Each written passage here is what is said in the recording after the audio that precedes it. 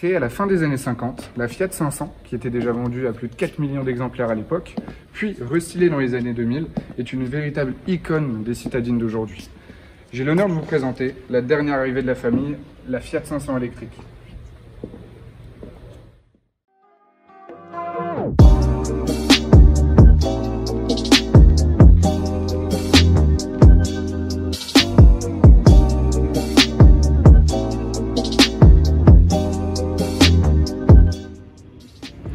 Sur cette nouvelle 500 électrique, on peut voir qu'on retrouve la face avant caractéristique du modèle.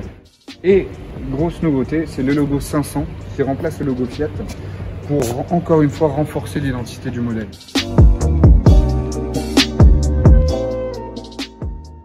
La 500 peut bénéficier d'une autonomie jusqu'à plus de 400 km en ville et également bénéficier d'une charge complète en à peine 3h30.